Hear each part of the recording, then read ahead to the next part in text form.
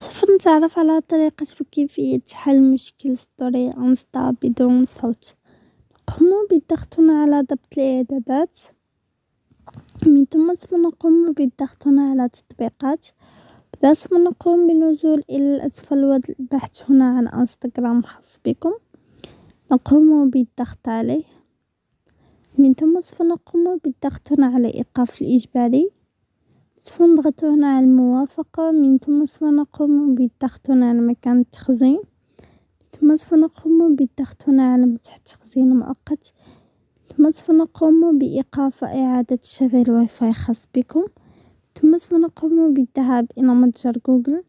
وهنا سوف نقوم بالبحث عن إنستغرام خاص بكم سوف يظهر على هذا الشكل. عندما تجدون هنا تحديث قم بضغط عليه وسيتم تحديث تطبيقكم انستغرام. هكذا نكون قد قمنا بحل المشكلة.